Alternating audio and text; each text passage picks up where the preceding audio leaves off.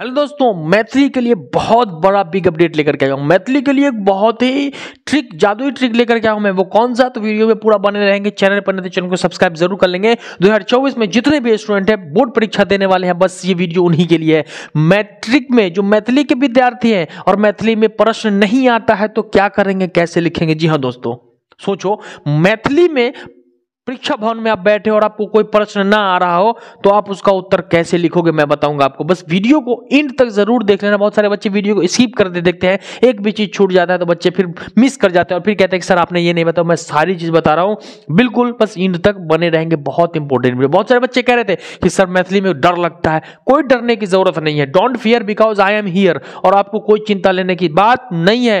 देखिए, सबसे पहले क्या कह रहा है कि मैथिली में जो सवाल नहीं बने तो क्या करे? बिल्कुल जो मैथिली में जो सवाल आपसे नहीं बनेगा तो आप क्या करोगे? कैसे बनाओगे? आप कह रहोगे सर, ये तो संभव नहीं है। संभव है everything is possible in this world और दूसरा कह रहा है कि पूरा नंबर मिलेगा, बस ये काम कर लो। बिल्कुल विद्यार्थी, अगर ये काम कर लेते हो तो आपको पूरा नंबर मिलेगा। काम क्या है? बस देख लो। सबसे पहली चीज़ क्या होता है? मान लेते हैं कि मैथिली का कोई प्रश्न उठा लेते हैं, ठीक है? जैसे मैथिली का लगभग लगभग प्रश्न आपको आ रहा था, आपने बना दिया। अब कुछ प्रश्न नहीं आ रहा है। अब क्या किए? बस जो प्रश्न नहीं आता, वहीं से आपका मूड खराब होना शुरू हो जाता है और इसका इंपैक्ट दूसरे प्रश्न में पड़ जाता है कि जो आता रहता है, उसको भी हम भूल जाते हैं। तो सबसे पहले काम क्या करना है कि जो प्रश्न आपको आता है, उस प्रश्न को बनाना शुरू कर देना है। अब जो प्रश्न नहीं आता, उसको कैसे सॉल्व करेंगे, सर? ये तो बड़ी दुविधा वाली बात है तो कोई दुविधा वाली बात नहीं है। बस आपको अपना थोड़ा सा माइंड यूज़ करना और कैसा माइंड देशज देसी लोंडा वाला माइंड यूज़ करना है कि मैथिली है ये मिथिला की मिथिलांचल की शान है। और मिथिलांचल में रहने वाले व्यक्ति को मखाना और मछली का स्वाद पता है तो मछली और मखाना खाने के वाले, वाले के पास बुद्धि बहुत होती है। बस मछली और मखाना का उपयोग करना है वहाँ पर। क्या करना है? मान लेते हैं कि हम उस प्रश्न का उत्तर हमको नहीं आता तो कैसे लिखेंगे? तो सबसे पहला है कि आपका प्रश्न पूछ दिया मान लीजिए बच्चा बच्चा आपको मान लेते एक प्रश्न देता है आपको कि बच्चा शीर्षक का भाव अर्थ लिखें। विद्यार्थी, ध्यान से देखोगे बाबू। आपको प्रश्न पूछ दिया कि बच्चा शीर्षक का भाव अर्थ लिखो तो आप प्रश्न को पूछो। प्रश्न क्या चाहता है? प्रश्न से आप पूछो, प्रश्न क्या चाहता है, प्रश्न जो चाहता है वही आपको देना है, बाकी एक्स्ट्रा कुछ भी नहीं करना प्रश्न आपको कहता है कि मुझे ये चाहिए। देखो कैसे, ध्यान से सुनना। कोई भी प्रश्न, कोई भी, अब प्रत्येक प्रश्न को इजीली पढ़ना। बच्चा, पता है आपको बच्चा किसको कहते हैं, है ना? बच्चा विशेष, यानी विशेषता, खासियत, ठीक है, का भाव। भाव का मतलब क्या होता है? उस उस विषय में, उस चैप्टर में जो बताया गया, विषय का अर्थ, यानी मतलब अब देखो तो घुमा फिरा के बाद कहाँ पे है कि बच्चा का मतलब लिखना है?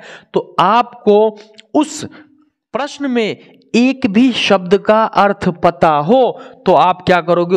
उस शब्द के आधार पर मैथिली में आपको कम से कम दो नंबर का प्रश्न है तो आठ लाइन में लिख देना है बउआ कितना लाइन में?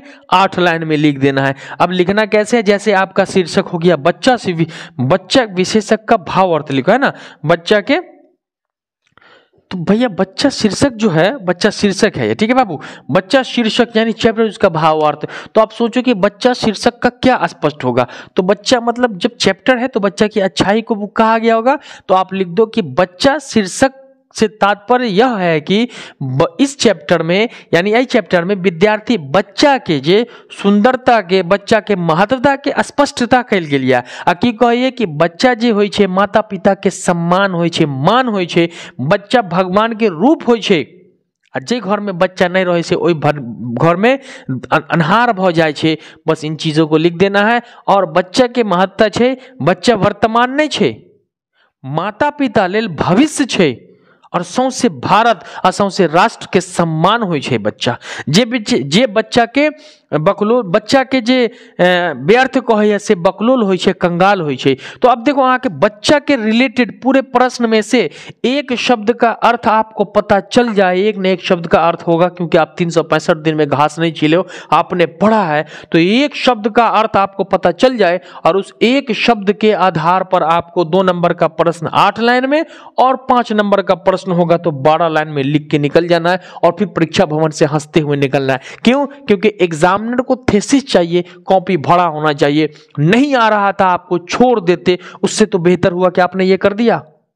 समझ में आ गया क्या ट्रिक है? तो एक भी क्वेश्चन को नहीं छोड़ना है। अब मैथिली में एक भी क्वेश्चन ना आए, मैंने पढ़ा दिया, आपने अगर नहीं देखा है तो अब जहाँ जाके रिवीजन कर लो, देख लो कि मैथिली में गारंटी देता हूँ मैं कि हर प्रत्येक सवाल दो नंबर का, पाँच नंबर का ऑब्जेक्टिव संक्षेपन, उसके बाद मैंने निबंध कंप्लीटली चीज़ों को बता दिया है, ठीक है? तो वीडियो अच्छा लगा होगा तो दोस्तों को शेयर ज़रूर कर लेंगे कमेंट में बता देंगे। थैंक यू सर बताने के लिए। और चैनल पर नए तो चैनल को सब्सक्राइब ज़रूर कर लेंगे बेल आइकन कर लेंगे, ताकि आने वाली वीडियो का नोटिफिकेशन आपको मिलता रहेगा। तो चले मिलते अगले वीडियो में, तब तक के लिए जय हिंद, वंदे मातरम।